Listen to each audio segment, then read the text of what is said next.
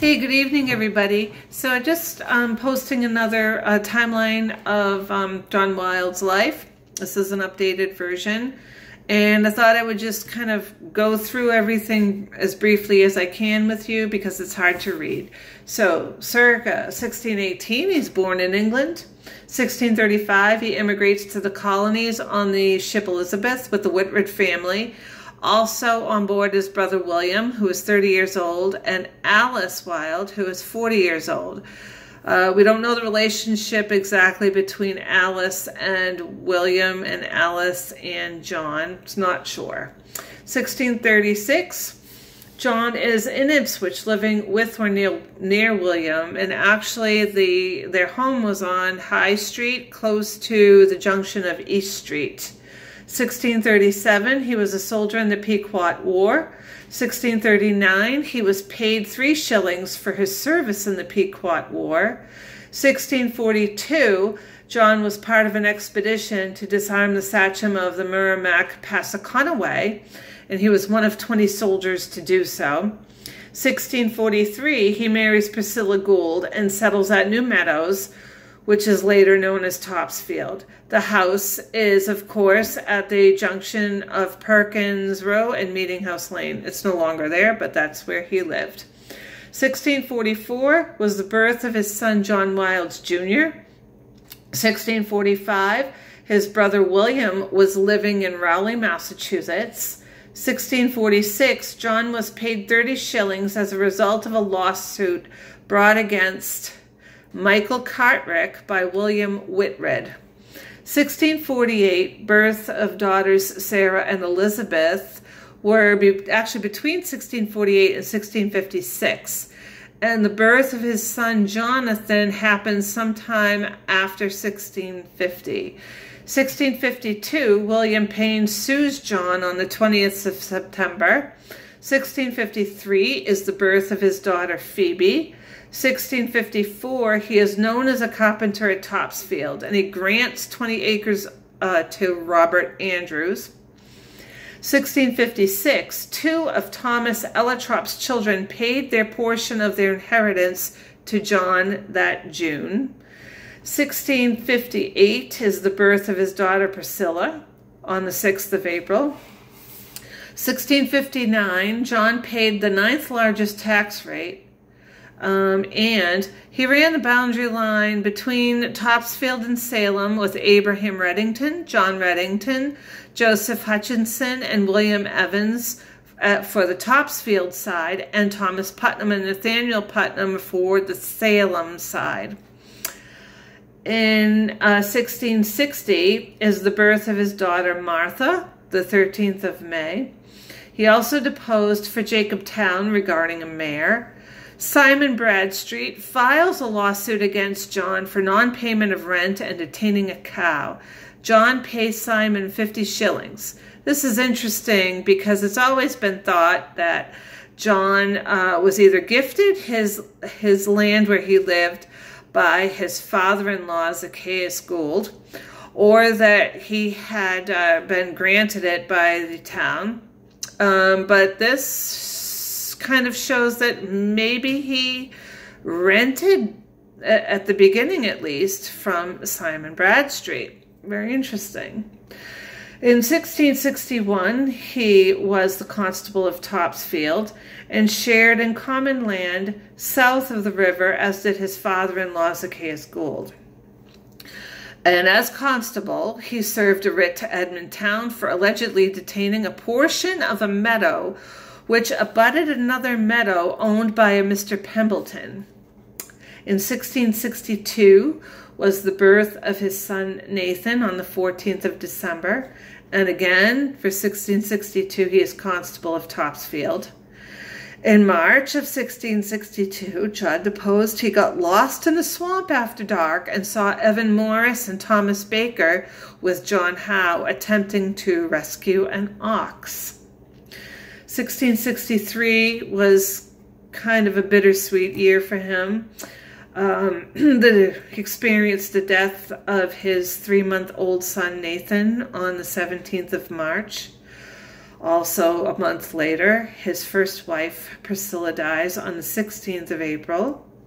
But then uh, later that year, the 23rd of November, he marries my great grandmother, Sarah Averill. And also that year, he conveys 32 acres at Bushy Hill and 8 acres of meadow to William Acey of Rowley, Massachusetts. 1664, John paid the 17th largest tax of about 31 taxpayers. The, um, the number one taxpayer that year was Zacchaeus Gould. And then John, William Averill, Thomas Baker, and Edmund Town were appointed to divide the timber in the 500 acres of common land into three equal portions. They awarded some of the share according to their own personal tax rates. John also laid out a parcel of land with Francis Peabody and Thomas Perkins, acquired by John Howe.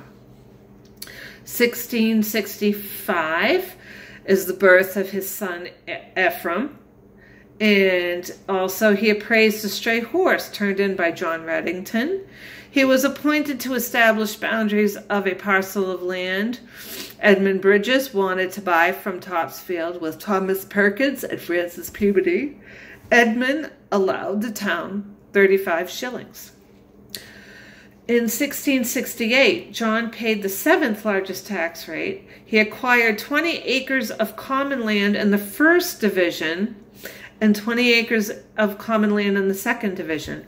He sold the 20 acres from the first division to Thomas Dorman in 1674. On the 13th of November of this year, Francis Peabody, John Gould, Thomas Baker, and Edmund Town were chosen to lay out and divide common land belonging to Topsfield by Salem according to the order in 1661 and the rule appointed in 1664. This was a lot of work. in 1669, John was owed money by the town, most likely for carpentry work. In March of 1669, John drew lot number 30 from the southerly division of the Common Lands. In 1672, or thereabouts for this first part, the Reverend John Hale and Mr. Corbett and others traveled to Ipswich to advise and pray for John's son Jonathan. Some people believed that Jonathan was possessed. Others believed he faked his odd behavior, but Reverend Hale concluded that he was under the obsession of the devil. Then, uh, after Reverend Hale met with Mary Reddington in 1677, he concluded Jonathan to suffer bewitchment. John sold 30 acres of land to John French also in that year. In 1675, the 7th of March, Sergeant Redington, Francis Peabody, and John Wildes were chosen to exchange a strip of land with Thomas Baker next to his farm, then settled the Baker farm boundary lines.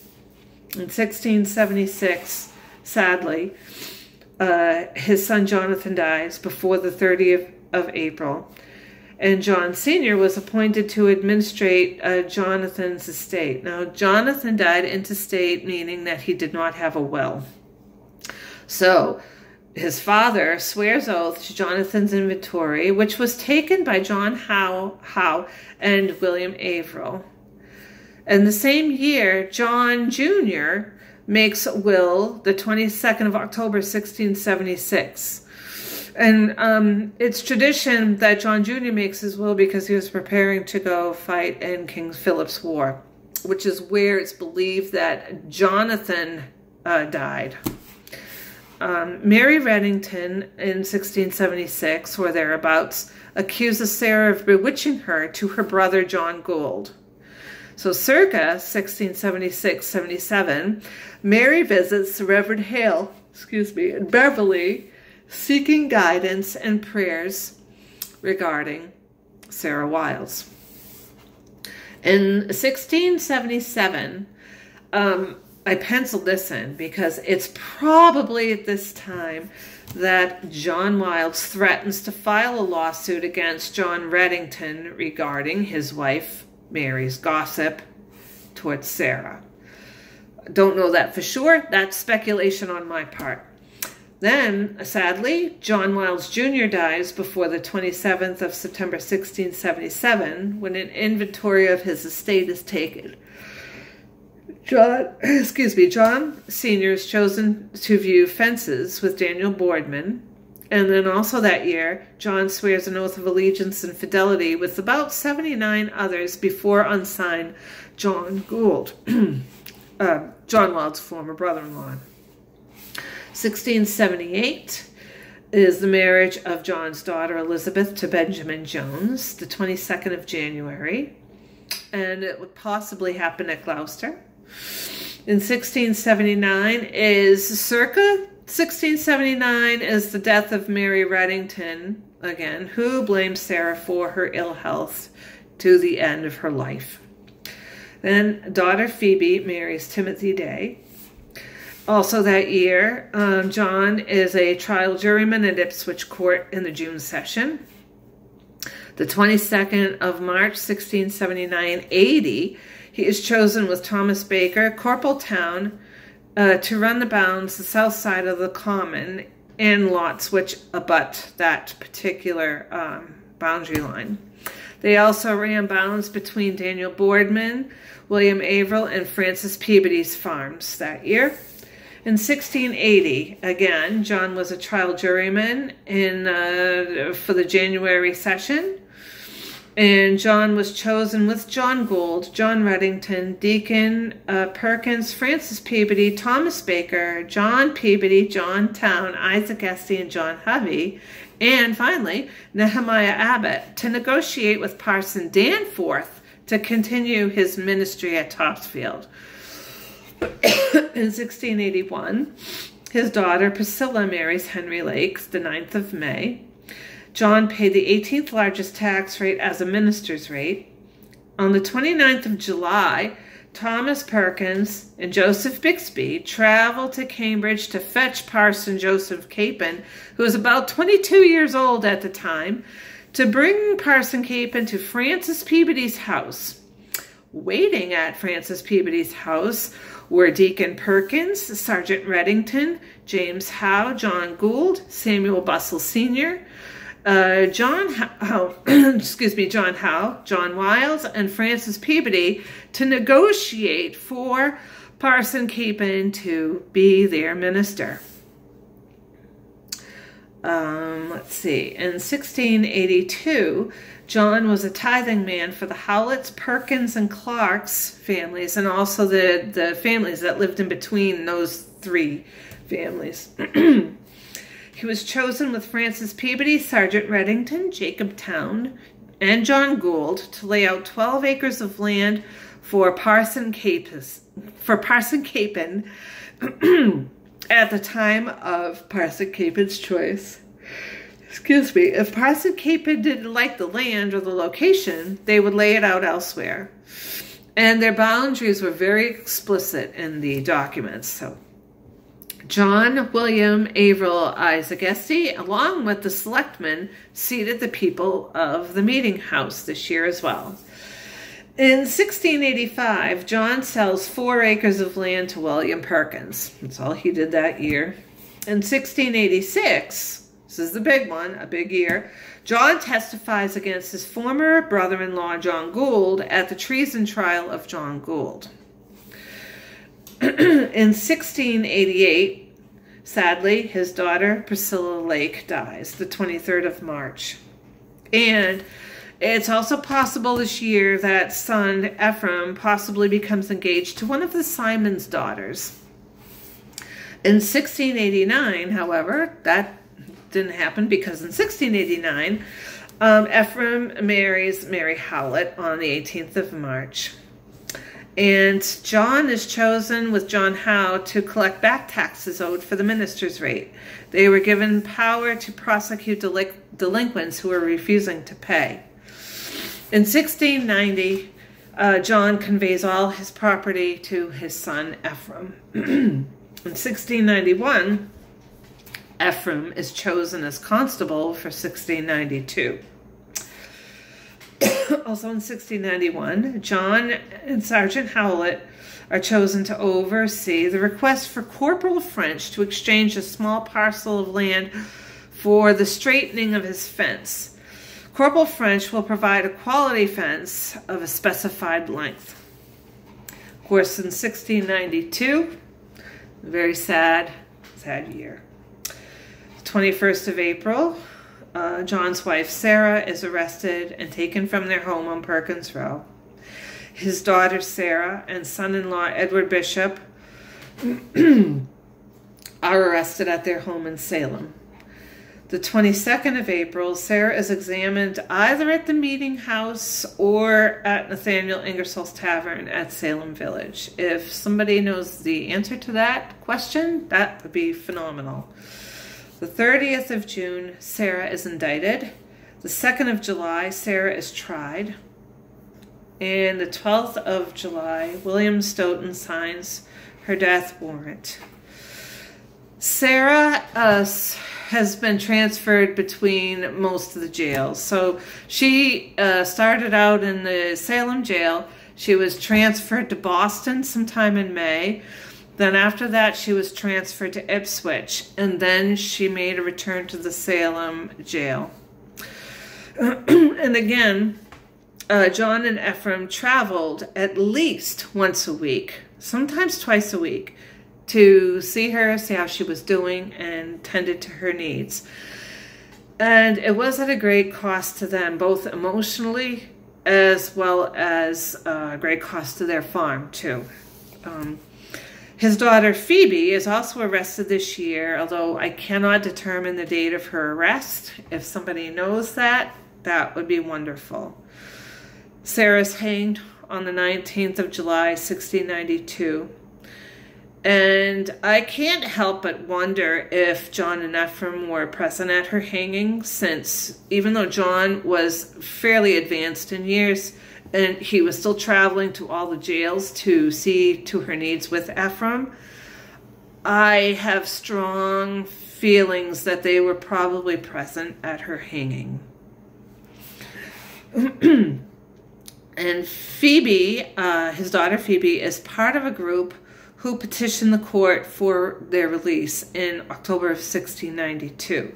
So I'm assuming that Phoebe was released. I don't know that she escaped. If somebody knows what happened there, please let me know. John's other daughters, Sarah and Edward Bishop, escape the Boston jail and they go into hiding. And as we all know, they eventually end up in Rehoboth, Massachusetts.